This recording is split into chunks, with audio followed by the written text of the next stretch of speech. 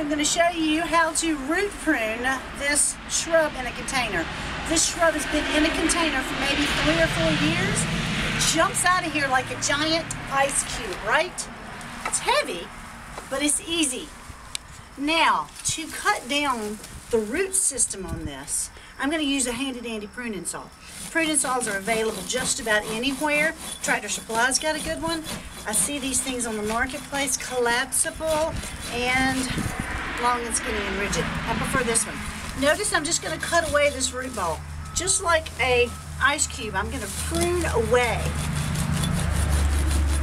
the exterior of that root ball. Then when I put this thing back in that container, I'm going to have all of this new space.